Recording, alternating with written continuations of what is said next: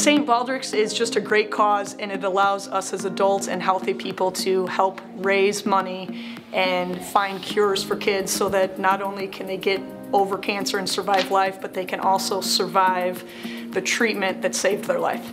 This year they're gonna have an event in the gym. Right now it's only seniors.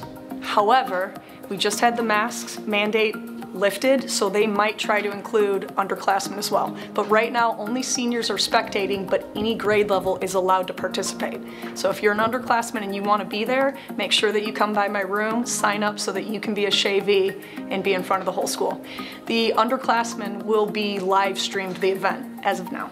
I am a shavee this year, so I'm shaving my head for the ninth year for St. Baldrick's. I have raised at least over 27,000 over the nine years. I really wanted to like help out a cause, and I, you know, kids with cancer need help. So in third grade, I decided to start doing it, and I just never stopped since. So I get one haircut a year, St. Baldrick's, and that's it. And then I let it grow out from then. This year, I'm gonna dye my hair. So whoever pushes me over my goal gets to choose the color that I dye my hair. So that's exciting.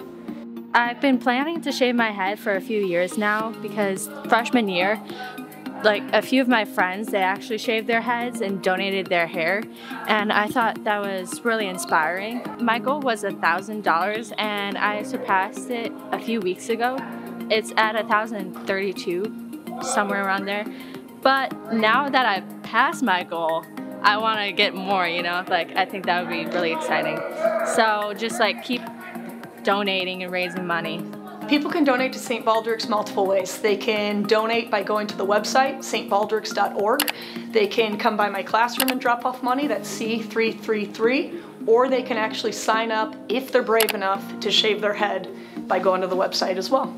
We also have some other ways that you can help raise money for St. Baldrick's. St. Baldrick's has given us these buttons, and for a dollar donation, you can have one of these. We also have these awesome little wristbands that are two bucks a piece.